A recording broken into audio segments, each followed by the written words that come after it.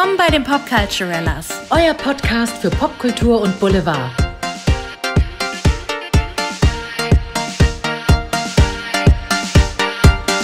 Hallo, wir müssen reden. Hallo, wir müssen reden. Willkommen bei den Popculturellas. Willkommen. Und ich muss mich jetzt schon mal, also ich, Andrea, muss mich jetzt schon mal entschuldigen. Der Nachbar hat heute die Enkelkinder zu Besuch und die sind heute ein bisschen lauter, sehr aktiv. Die verwechseln die Wohnung immer gerne mit einem Abenteuerspielplatz.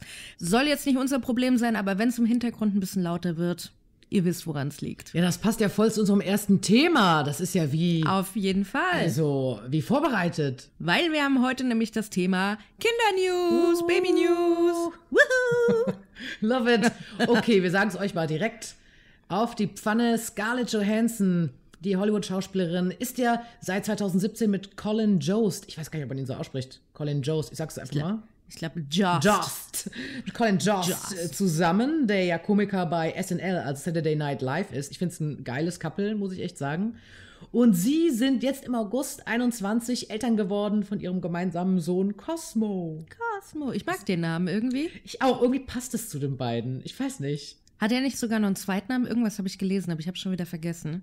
Ich weiß es nicht. Ich habe mir nur Cosmo gemerkt und dachte, was für ein süßer Name, wenn, wenn ein Kind Cosmo heißt. Ähm, Scarlett Johansson hat ja auch schon eine Tochter, Rose, die 2014 geboren wurde, stammt aus ihrer Ehe mit Romain Doriak, mit dem sie 2014 bis 2017 zusammen war. Und Scarlett und Colin haben sich ja im Oktober 2020 heimlich getraut. Und sind total verliebt in ihr Baby. Was ich sagen wollte ist, aber über das Kennenlernen-Date sind die beiden sich ein bisschen uneinig. Er sagt nämlich, sie haben sich 2006 kennengelernt und äh, Scarlett behauptet, sie kann sich erst ab 2010 an ihn erinnern. Das finde ich immer geil. Er ist so voll romantisch. Ja, 2006. Ich erinnere mich genau. So, Dude, Who are you? warst du für mich non-existent. Ciao. Ja, die haben Nice. sich natürlich bei der Arbeit bei SNL kennengelernt, also bei Saturday Night Live. Und die haben ja immer unterschiedliche Celebrities als Hosts dort. Und Scarlett war schon diverse Male dort als Host zugange. Und ich glaube, ähm, dadurch kommt vielleicht die Diskrepanz auch zustande. Das kann gut sein. Ich finde ja auch sehr lustig. Ähm, hier der Komiker Michael J., der auch bei SNL äh, tätig ist, Kollege von Colin, zieht ihn ja manchmal auch ganz gerne auf bei SNL, dass er eben mit Scarlett Johansson zusammen ist. Einfach, einfach mit so einem Big Boss Schauspieler Hollywood-Star. Und das ist schon, ich finde es schon sehr witzig. Ja, das war auch süß, als die beiden gedroppt haben, die News, dass sie Eltern geworden sind, haben sie geschrieben so, ja, wir freuen uns, es ist ein Junge, äh, wir bitten um Privatsphäre. Und er muss noch gepostet haben so, ja, bei Fragen fragt bitte meine Kollegen von SNL.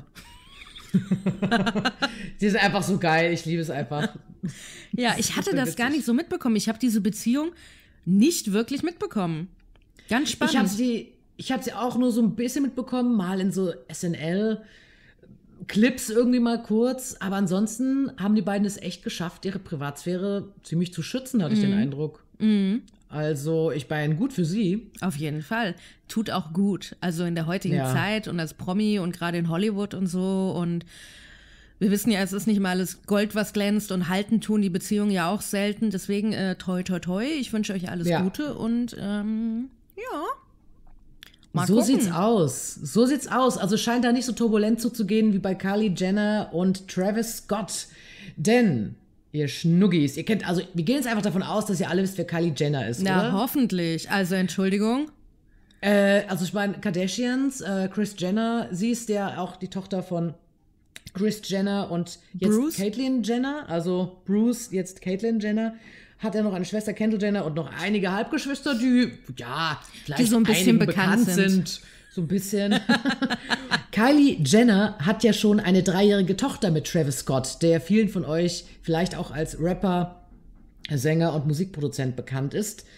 Er hat ja auch ein krasses Album gedroppt mit Astroworld, aber dazu ein andermal. Und die beiden haben diese süße Tochter Stormy, die Ja, gesagt die ist wirklich bezaubernd. Ja, die ist sehr, sehr süß. Und Kylie hat auch immer gesagt, sie möchte unbedingt ein Geschwisterkind für Stormy und sie möchte keinen großen Altersunterschied, weil sie und Kendall ja auch nur ein Jahr auseinander liegen. Und ja, es, es wurde Zeit, sie haben wohl schon eine Weile an einem Geschwisterchen gearbeitet, sind in die Produktion gegangen. Äh, Und ja, mit Travis Scott ist es ja so eine On-Off-Beziehung. Ich war ein bisschen erstaunt, dass sie jetzt zum zweiten Mal ein Kind mit ihm erwartet, weil ich meine letzten News waren irgendwie, dass sie getrennt waren. Ja. Anscheinend haben sie wieder angebandelt. Ja, anscheinend führen sie jetzt offiziell eine offene Beziehung. So. Ist halt natürlich die Frage, wie kommt sowas immer zustande, gerne eine offene Beziehung. Also es klingt so, als ob der eine jetzt nicht so treu ist wie der andere vielleicht. Aber ich habe das damals auch gar nicht mitbekommen. Aber ich muss auch sagen, wir beide alten Kardashian Jünger, Ja. ich bin auch noch nicht so weit in der Sendung, dass ich sagen Ja. kann, ich habe die Beziehung von den beiden mitbekommen. Ich bin auch noch nicht so weit, äh, muss ich zugeben. Ich habe das dann immer nur so durch News mitbekommen, aber nicht durch die, durch die eigentliche Reality-Serie. Ähm, ja, also mein letzter Stand war doch wirklich, weil ich habe das nicht so verfolgt. Also gerade ist für mich so die Beziehung mit ihrer Schwester Courtney und Travis äh, Barker mehr im Vordergrund.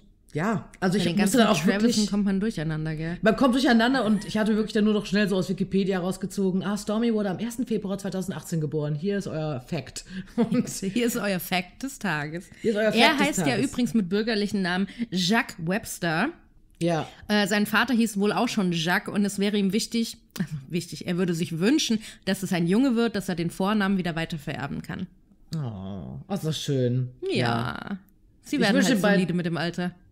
Sie werden solide, sie werden solide. Ja, witzig. Also, mal gucken, bin gespannt. Kylie scheint die Schwangerschaft sehr zu genießen und sehr, sehr glücklich zu sein. Das freut mich sehr für sie und wir wünschen den beiden alle die Jute. Auf jeden Fall. Und nur kurzer Side-Fact, falls ihr nicht wisst, welcher dieser Kardashian Jenners das ist. Das ist die jüngste. Sie ist die mit dem Make-up-Imperium. Vielleicht habt ihr das schon mal mitbekommen, was jahrelang nicht in Deutschland verkauft werden durfte, weil sie irgendwelche Regularien nicht eingehalten haben. Aber ich bin letztens durch München City gelaufen und im Douglas ist jetzt Werbung davon. Also, Da, da, da. wir können jetzt auch äh, die Kylie Edition kaufen. Uh, Kylie Cosmetics coming to Germany. Also Leute, gute News. Good News, wir sind übrigens nicht gesponsert. Aber falls ihr uns sponsern wollt, ruft an. Ruft einfach mal an, wir haben auch eine E-Mail-Adresse, droppt uns mal eine Message.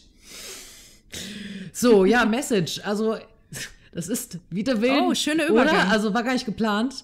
Aber ich bin ja großer Fan von Lizzo, der Sängerin Lizzo. Ich feiere die Frau. Seit 2019 ist sie bei einem Major-Label und seitdem geht Schlag auf Schlag. Acht Grammy-Nominierungen, sehr geile Musikvideos. Sie ist sehr bekannt geworden. Also, man verbindet sie einfach mit Body Positivity. Ja. Manche sagen auch, ja, der Begriff ist mittlerweile, hat sie irgendwie mal in einem Statement gesagt, mittlerweile ist der schon so wie, ja nicht ausgeleiert, aber es gilt irgendwie Abgedroschen. als cool abgedroschen. Aber sie steht einfach so dafür, vielleicht auch wider Willen, weil sie ist eine mehrgewichtige Frau. Und natürlich steht sie in der Öffentlichkeit so. Und sie geht eben einfach sehr selbstbewusst mit ihrem Körper um, was ich total feier und ist so die Selbstliebe-Päpstin gefühlt. Und ich feiere diese Frau einfach und ich feiere ihre Songs. Es sind einfach gute Lieder. Und ähm, ich finde, mit ihren Texten und ihren Musikvideos und Outfits und Insta-Videos und ihrem Twerken und alles, was sie halt so macht, steht sie einfach so für Selbstliebe und being unapologetic. Also einfach äh, ohne Entschuldigung sie selbst zu sein. Und es gab jetzt eben da so einen Vorfall. Sie hat ja am 13. August ihr neuen, ihren neuen Song, ihre neue Collab mit Cardi B, ihren neuen Song Rumors gedroppt. Cardi Und- ist so geil. Die, ist, die also hochschwanger da ein Musikvideo auch am Start ist, was ich wirklich auch erstmal schon mal feier. Ähm, wo Lizzo auch meinte, also wenn ich schwanger wäre, dann würde ich einfach nur zu Hause sitzen und Cheetos essen. Also Respekt an Cardi, dass sie ihren schwangeren Arsch, um es mal so zu zitieren, zu meinem Musikvideodreh geschleppt hat. I like. Jedenfalls, ähm, das Ironische ist, dass sie eben in dem Video Rumors darüber singt, über Mobbing und Hasskommentare, die sie und Cardi bekommen haben. Und was folgte auf dieses Video? Äh, Hasskommentare. Genau das gleiche nämlich wieder, gell? Ja. Und das ist halt so bescheuert. Und es waren halt vor allen Dingen wirklich rassistische und fettphobische Statements, wo Lizzo dann auch gesagt hat, also sie ist dann einfach in einem Instagram Live-Video irgendwann weinend zusammengebrochen. Das ist halt dann um die Welt gegangen und ich zitiere, Lizzo meinte halt, meistens ist es mir egal, aber ich glaube, wenn ich viel arbeite, sinkt meine Toleranz, meine Geduld. Geht zurück, ich werde sensibler und dann trifft mich so etwas. Ja. Weil sie meint einfach, okay, sie ist am Hasseln und sie gibt so viel von sich, so viel positive Energie und dann kommt so viel Scheiße zurück. Also nicht nur natürlich, aber es kommt irgendwie auch viel Scheiße zurück und dass sich die Leute bitte nicht so sehr auf ihr Aussehen konzentrieren sollen. Und sie meint auch so, okay, wenn dir der Song nicht gefällt, cool, wenn meine Musik dir nicht gefällt, cool, aber ähm, dann zieh halt weiter und beleidige mich nicht, weil halt auch, muss man auch sagen, und wir sind dann eben leider doch noch nicht so weit, wie man es gern wäre. Sie wurde auch Mammy genannt. Und das ist eine abwertende Bezeichnung für das Stereotyp von schwarzen Kindermädchen, beziehungsweise von Kindermädchen, POC-Kindermädchen. Und sie hat auch noch krassere äh, Direct Messages bekommen. Und ich finde das echt hart. Ich finde das richtig hart und ähm, nur kurze Korrektur, es war äh, TikTok, weil sie sehr auf TikTok sehr präsent ist. Und ähm, es war so ein Live-Video von ihr, wo man auch sieht, wie diese Direct, äh, diese Kommentare halt reindroppen. Die Leute sind da so, hey, was ist los? Warum weinst du? Du musst nicht weinen. Du bist so toll. Und man sieht das halt immer so aufploppen, wie bei jedem Instagram Live. Ähm,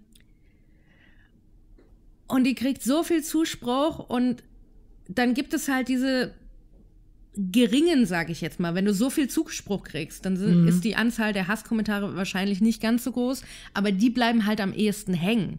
Und wenn die auch noch so richtig krass sind, ich kann sie so verstehen und ich kann auch die Aussage verstehen, je mehr du arbeitest, desto mehr sinkt dein Toleranzlevel, weil du weißt, wie viel Arbeit du reingesteckt hast. Und wir alle kennen das. Von außen ist das nicht ersichtlich oftmals. Die Leute können das nicht so anerkennen. Aber es ist dann verletzend, je mehr Energie du reingibst, weil es ist auch anstrengend. Du machst es zwar aus Leidenschaft wahrscheinlich, aber wenn dann so blöde, bescheuerter Kackmist kommt, ähm, ich kann das komplett verstehen. Komplett. Total. Und man muss ja Total. auch noch sagen, dass Lizzo ein gebrandmarktes Kind ist, möchte ich jetzt fast sagen. Die kämpft schon eine ganze Weile mit Depressionen, wo, was sie auch komplett öffentlich macht, sie spricht darüber, sie ähm, hat zum Beispiel live bei einem Festival 2019 in Glastonbury auf der Bühne gesagt, so, hey Leute, lasst uns ein bisschen Mantra chanten, irgendwie so, ich bin schön, ich bin toll. Und ihr sagt das alle und wenn ihr heimgeht, sagt ihr das vor dem Spiegel und dann sagt sie so zum Schluss so und jetzt sagt ihr das einmal für mich alle, weil ich brauche das auch, ich bin depressionsgeplagt und ich muss das jetzt auch mal gerade hören. Ja. Ja, also da, da zeigt sie sich ja auch sehr verletzlich und dann ist es halt wirklich einfach nur schade, wenn Leute genau da reinhauen, so, weil sie wirkt, also sie wirkt auch oft einfach sehr tough und auch in ihren Musikvideos sehr selbstbewusst. Ich persönlich, mein Lieblingsvideo von ihr ist einfach immer noch Boys. Und ich glaube, danach kommt Juice. Also Boys ist für mich einfach so ein Video, das finde ich einfach super, super geil. Rumors fand ich auch, klar, es ist groß produziert, sie ist bei einem Major-Label. Es war jetzt nicht immer so ganz meins, aber ich fand es auch schon einfach trotzdem ziemlich nice. Und es ist Lizzo und es ist sie und Carly dabei. Das ist auch cool. Ich finde auch die Texte gut, weil sie halt wirklich sehr direkt auf ähm, Mobbing eingeht, so und auch auf dieses, auf diesen Sexismus auch, Ich finde die Texte herrscht. in dem Lied teilweise besser als das Musikvideo, muss ich ehrlich gestehen. Ich aber die find die Texte, Texte sind auch besser. sehr on point. Total. Ich finde die Texte auch besser tatsächlich als das Video, aber trotzdem finde ich, ist es Lizzo. Ich, ich liebe Lizzo. I like. Und sie hat ja auch dann noch auch ähm, großen Zuspruch bekommen von vielen aus der Musikindustrie. Zum Beispiel Missy Elliott hat ihr einen Blumenstrauß nach Hause geschickt und hat auch ihr eine sehr schöne Karte dazu geschickt, äh, wo sie geschrieben hat, alle paar Jahrzehnte bricht jemand aus der vorgefertigten Form aus. Du bist einer dieser Menschen. Leuchte weiterhin und sei auf deinem Weg gesegnet. Also, das finde ich schon richtig, richtig schön. Und was ich sehr gefeiert habe, der Rapper Game, ja, The Game, auch sehr lustiger Studiogast mal bei der Wendy Williams Show, die ich auch mal ganz gern gucke, wo ich die auch ein bisschen kontrovers finde mittlerweile, wo er darüber redet, mit wie viel Kardashians er geschlafen hat. Guck das bitte mal an. Okay. Ähm, witziger Typ, I will do this. aber der, und das hätte ich jetzt nicht von ihm erwartet, hat so ein geiles Support-Video auf äh, seinem Insta-Account gedreht. Ähm, also an seine, an seine Hater oder auch Fans gerichtet, aber wo er auch eben Lizzo supportet.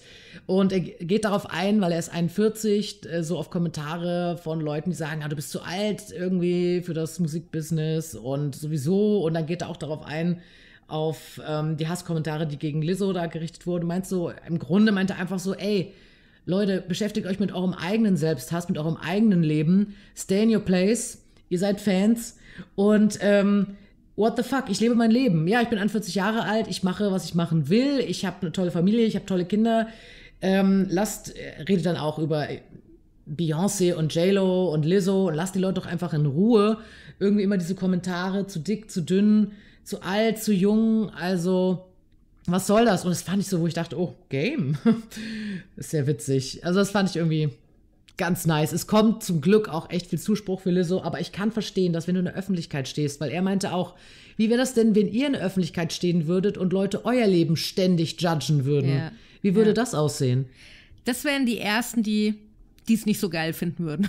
so möchte ich es mal ausdrücken. Ja. Und ich finde es halt auch hart, guck mal, wenn jemand schon eh öffentlich macht, ey Leute, ich leide an Depressionen, das machen die Leute nicht aus Langeweile. Das machen die mhm. Leute nicht, um ein bisschen Aufmerksamkeit zu bekommen, weil das machen die Leute wirklich aus Selbstschutz. Mhm. Und sie hat äh, in einem vorhergegangenen ähm, Post auf Instagram oder TikTok, ich weiß es nicht genauer gesagt, I'm depressed. I'm depressed and there's no one I can talk to because there's nothing anyone can do about it. Life hurts. I self love so hard because everything feels like rejection. It feels like the whole world be ghosting me sometimes. Sad as fuck today, but this too shall pass. Shout out to the messages of love. Thank you. Also quasi, ähm, ey Leute, ich bin depressiv, ich kann mit niemandem reden, weil es kann eh keiner was dagegen tun. Sie versucht so krass mit Selbstliebe dagegen zu steuern aber es fühlt sich gerade alles so eine Ablehnung an und sie hat manchmal das Gefühl, dass die ganze Welt sie ghosten würde, also ghosten quasi sie ignorieren würde. Und an dem Tag, wo sie den Post gedroppt hat, hat sie geschrieben, sad as fuck, also ihr geht's richtig scheiße today, also ihr geht's richtig scheiße heute, aber auch das wird irgendwie vorbeigehen. Und ich finde, wenn jemand sowas öffentlich macht, das ist nicht irgendwie kurz Aufmerksamkeit abgreifen, das ist wirklich so, ey, nimmt die Leute mal ein bisschen in Schutz. Also mhm. schützt die Leute. Mhm. Weil das kann auch ganz schnell nach hinten losgehen. Voll. Und ich, also ich bin, ich, ich habe mich da dann auch gefragt, was hat sie für ein Umfeld? Also wirklich nahes Umfeld, jetzt nicht einfach nur irgendwie Kollegen, sondern ich hoffe, sie hat ein unterstützendes Umfeld, das sie aufhängt. Sie hatte mal so. in irgendeinem Interview gesagt, so von wegen, sie hat Freunde von früher, aber die sieht sie halt auch nur alle Schaltjahre mal, weil äh, mm. die sind halt nicht in dieser, in dieser Bubble drin oder leben nicht in mm. Los Angeles oder so. Und das kann halt auch schon echt hart sein, gell? Und wir mhm. alle kennen das. Du hast diesen alles läuft auf einen Termin hin, große Aufmerksamkeit, viele Leute um dich rum und dann ist irgendwann dieser Termin vorbei und du bist alleine. Mhm. Ja, voll. Also das, da habe ich gedacht, du brauchst echt ein gutes Supportsystem, wenn du in der Öffentlichkeit stehst und wenn du halt einfach, aber eigentlich habe ich gerade gedacht, Gut, es wird immer Hater geben, wenn Leute außerhalb der Norm irgendwie sich bewegen, aber auch in der Norm. Also selbst, ich kann mir vorstellen, dass auch, weiß ich nicht, eine Katy Perry oder eine Billie Eilish oder, I don't know, unterschiedlichste Frauen einfach äh, auch mit Hassnachrichten umgehen müssen. Oder nicht nur Frauen, auch Männer, aber. Alle Frauen. Alle Frauen. Du kannst aussehen, wie du willst. Du kannst ja. aussehen wie Giselle Bündchen. Mhm. Jeder würde irgendwas an dir finden, was er scheiße findet. Genau. An den Männern genauso. Aber ich behaupte wirklich mal, dass Männern mehr verziehen wird als Frauen.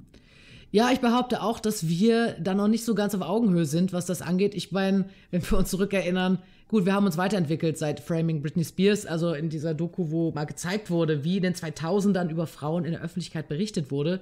Da sind wir schon weiter, aber es ist noch Luft nach oben definitiv.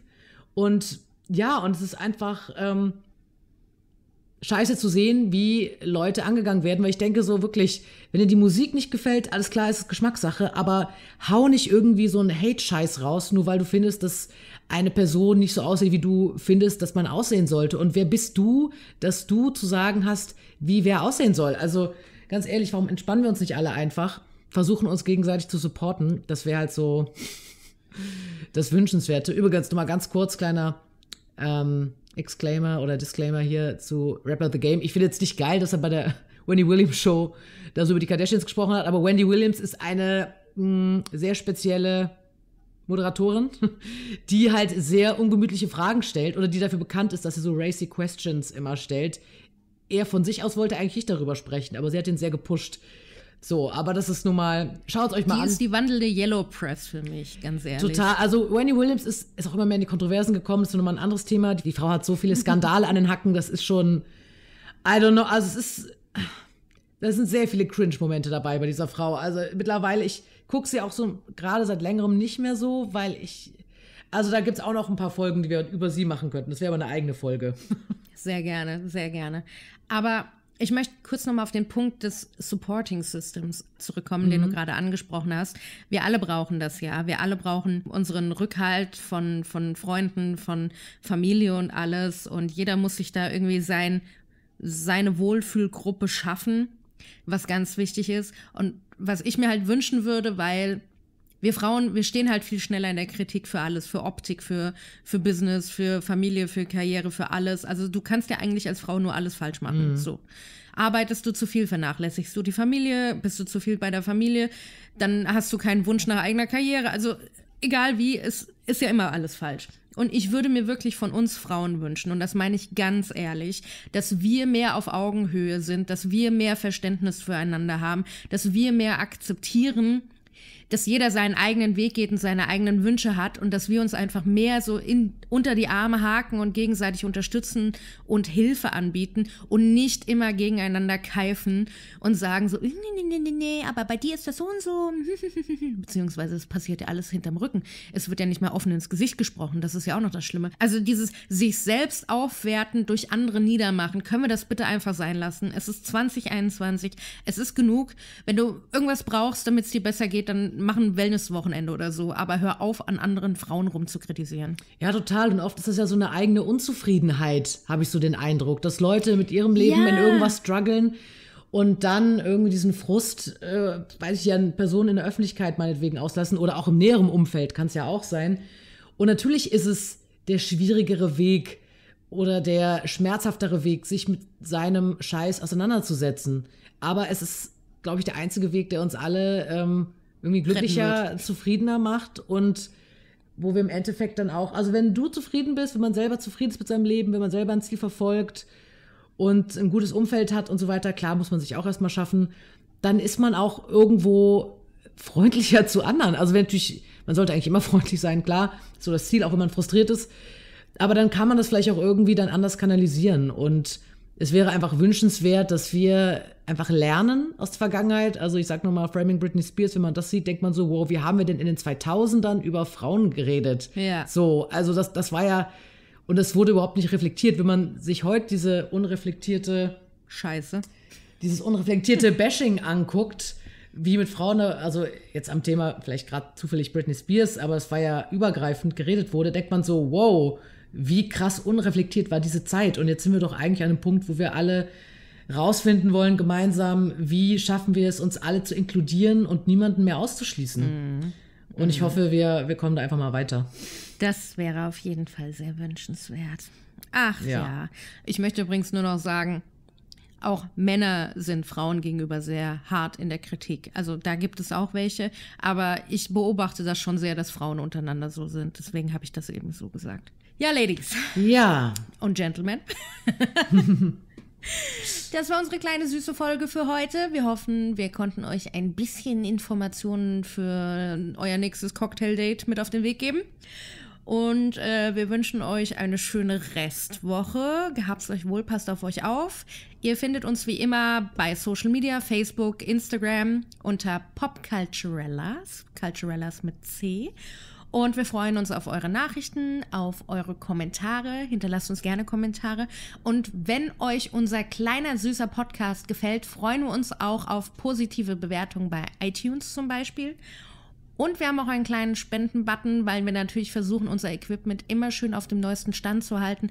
Und wenn da mal ein Groschen für uns abfällt, können wir uns natürlich auch nur verbessern. Und wir würden uns darüber sehr freuen. Sehr freuen. Das findet ihr alles über den Link in unserer Bio auf Instagram. Und ähm, ja, danke fürs Zuhören und für eure Unterstützung. Ja, und PayPalt uns eure Liebe. Scherz, ihr könnt es einfach auch einen Kommentar droppen, da freuen wir uns. Und empfehlt uns weiter, wenn ihr Bock habt. Und ich wünsche euch eine richtig schöne Woche voller Selbstliebe ja, und äh, Spaß am Leben. Sehr schön. Macht's gut, eure Popculturellas. Bis dann.